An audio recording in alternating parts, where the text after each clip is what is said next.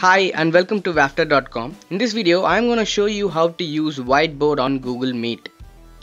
I have given the solution for both PC and mobile version and if you are a mobile user just forward the video for 2 minutes.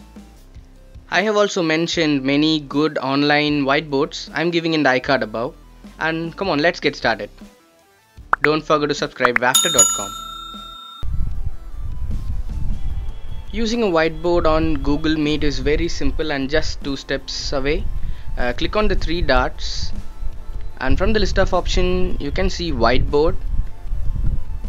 So just click on that. Clicking on this will open a pop-up and you can choose from this two options. You can either choose a new one or pick one from Google Drive. Since we are new to this I am picking a new. You can see a pop-up just appeared uh, this is called Jamboard which is a product uh, from Google itself and this is a whiteboard. I just renamed it. You have options like pen. You can use that to write on the board just like how you use your markers on your whiteboard. You can change the color and this is the eraser you got. And then you have a text field. So this is what you can do in your real whiteboard. Uh, here in this you can use a text uh, option to write on the whiteboard.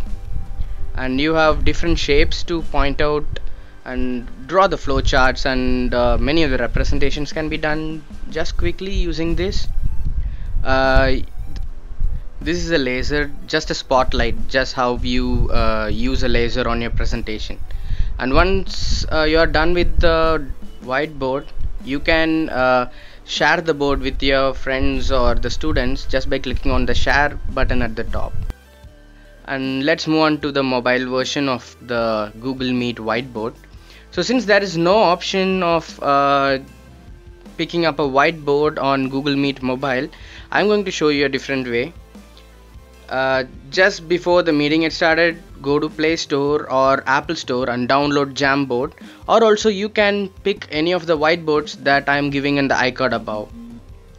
Just install this jamboard app or any other whiteboard app on your mobile phone and keep it ready uh, with the presentation. Or you can uh, open a new uh, worksheet or a whiteboard and keep it ready be just before the meeting and once your meeting gets started uh, on your Google Meet you can click on the three dots and choose the share screen option.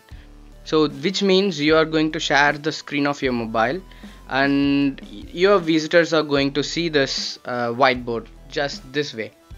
Now you can write it and do whatever you want on your whiteboard just for the plan or uh, any brainstorming sessions. So since you don't have a text field here. So this is the option that you got from the advanced text field. You can pick this option and when you try drawing a letter it will turn into text format. And you have all the similar options that you saw on the PC version.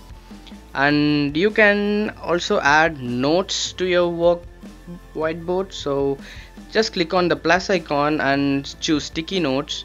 You can write whatever you want uh, here. And you can click the tick button uh, to add this to your whiteboard. So in this way you can add as many notes you want and uh, you can save this and share it with your uh, colleagues or your students. You can also choose you can also upload images just by clicking on the plus icon. So yeah that's it. Thanks for watching and don't forget to subscribe to waftr.com and click on the bell icon. You can also pick any of these videos and watch it. So thanks for watching. Bye bye